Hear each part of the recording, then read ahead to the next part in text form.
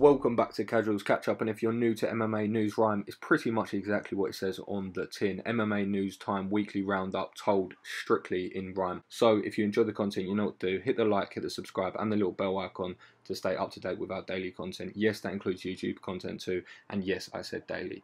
So let's get into it. Joseph retired this week. Joseph Benavidez got shown as much love online as Brian Ortega's Instagram stories with Tracy Cortez. Deservedly so, ultimately he may be disappointed for contender fights, but his name on the belt he never could quite stamp. Don't forget he does have a win over the Triple Champ. And let's be honest, a win against the Triple C is a huge one, just like the win of Megan Olivi. This week another legend decided to hang it up and retire, but just like Benavidez, Carlos Condit's legacy will never expire. Izzy and Rob finally got a date, the biggest rematch in Australasian history, the outcome still very much a mystery. Rob hits hard like Anthony Rumble. They think Izzy's done because he had one stumble. Ask others to go up and await, you wouldn't hear a grumble. Come back to Vettori to show, despite critics, he would not crumble. But moving on, this week Adrian Yanez signed a new contract with the UFC. But don't blink because you'll miss his lightning fast 1 2 3. And if you think I'm wrong, just go back and ask Brady Huang.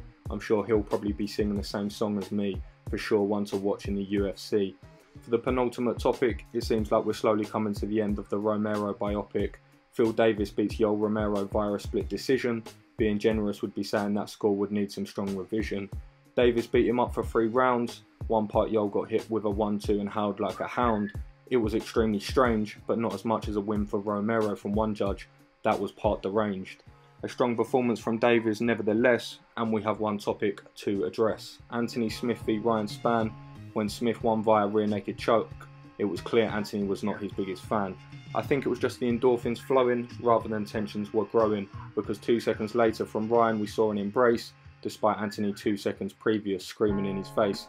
With this convincing win he shows he deserves to be at the top but Rakic won't be an easy opponent to stop. I also like that he made a call out and on the night he left a stamp. One more win and the fight after that he will likely be one to become light heavyweight champ. And you know what to do. If you enjoyed the content, please drop that like, please drop the subscribe, and make sure you've got that bell icon rung because we upload daily and we do the news round once a week. So enjoy, take care of yourself, peace.